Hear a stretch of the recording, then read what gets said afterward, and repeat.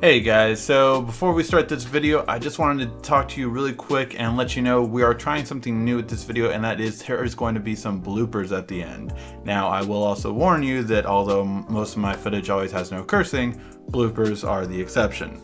So let me know if you think uh, I should be putting bloopers at the end of some videos in the comment section down below and enjoy the video.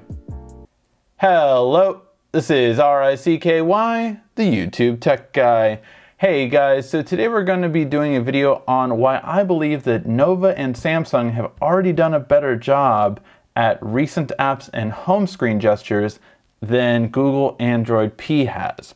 So let's get to the bottom of this. So first of all, Android P, it's a brand new OS and one of the biggest things is that when you swipe up now, depending on how you do it, there we go. Uh, you can do this swipe up from any app and what it allows you to do is see all of your recent apps. So if I go to an app and then I swipe up from the bottom, I have this here. You also have your most uh, frequently used app, the apps that Google thinks you're gonna use. This is still a home button, so you just tap it to go home. And if you swipe up as you saw all the way, then you get the ability to still go to your app drawer. Here's my thing about it.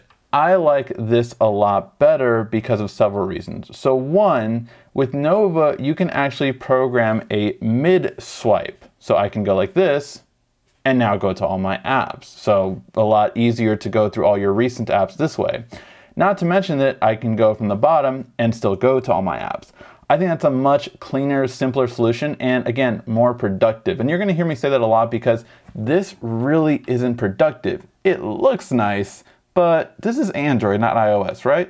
So let's get to this one. Now, one thing that Samsung allows you to do, which I really love, is the list view.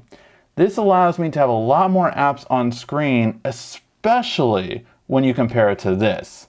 I have one app per screen. Are you joking? How often do I have to copy and paste something comparing to just being able to see a lot of apps and go through it? Not to mention, one of the biggest missteps that Google has done in Android P that not a lot of people are talking about is they remove the close all button.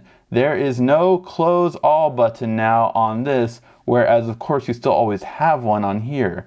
That is stupid. It is a step backwards and it's something that Android P needs to address before they become Android Popsicle or whatever they're going to be called. But I think this is just so much better. I have way more ability to jump between my apps a lot quicker and more easily. I also have the ability to have this style, which I did like, so I decided to change it, that if I swipe up in the middle screen, I have all my apps, and if I swipe down at the bottom, anywhere on the bottom, I have the app drawer. This is a lot easier and more intuitive than, wait, wait, there we go, okay. Or, no, like it's, it's just not as intuitive. And I hate that I can't do anything from the middle. It really is just not as good. Not to mention, of course, you can also do the gesture pull down uh, from the middle of the screen to get your notification shade.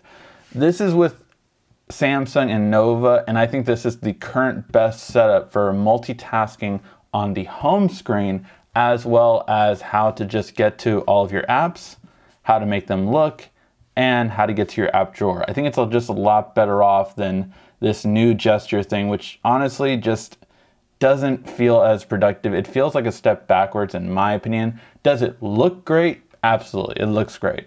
But again, this is Android. I think Google's forgetting that sometimes.